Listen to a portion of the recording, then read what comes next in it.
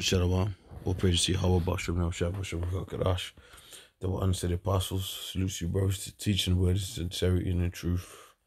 Real quick, uh, this is on um, biometricupdate.com. So they're going to, you know, this is the fingerprint of the future fingerprint biometrics. Any size, any shape, anywhere. So they've got, you know, websites, you know, dealing with this stuff. Uh, this is going to be a real quick video.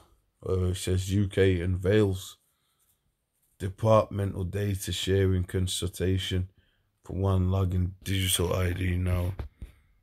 Um, there's just a little point in this. I'm not going to go all into this. You know. Um.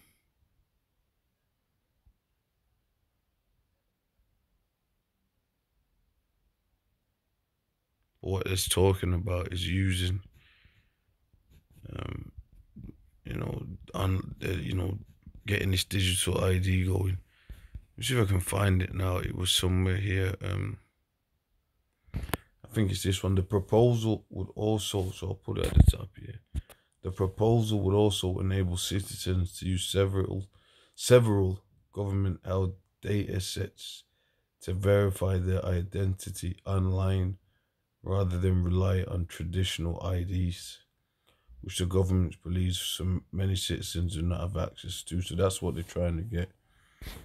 You know, um, a digi digital ID, man. So not even something that you hold. And that's the point of the video, you know. So it, it goes from, you know, something that you hold you know, your ID card to something that's digital that, you know, is basically in you, man. That's how it's to come down to the wire.